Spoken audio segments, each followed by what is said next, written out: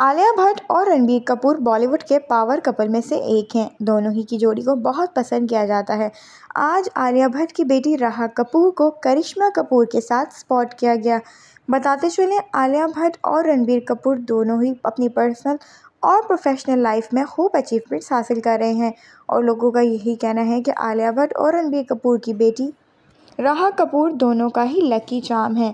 राहा कपूर को आज करिश्मा गुआ के साथ स्पॉट किया गया। करिश्मा कपूर के साथ राहा कपूर खूब इंजॉय करती हुई, खेलती हुई नज़र आई। राहा और करिश्मा दोनों ही की जोड़ी को बहुत पसंद किया जाता है। जब भी करिश्मा कपूर के साथ आलिया भट्ट की बेटी की कोई भी पिक्चर सामने आती है तो फैंस इसे देखकर बहुत खुश होते हैं।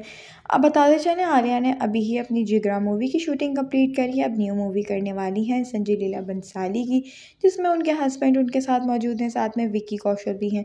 अभी ही आलिया भट्ट को जी सिने अवार्ड में भी देखा गया था।